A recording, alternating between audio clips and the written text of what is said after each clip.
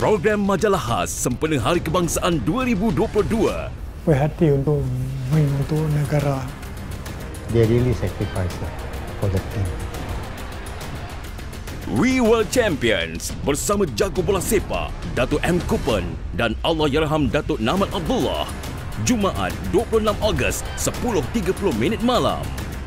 Selamat menyambut Hari Kebangsaan 2022. Keluarga Malaysia teguh bersama. Daripada kami di saluran sukan RTM.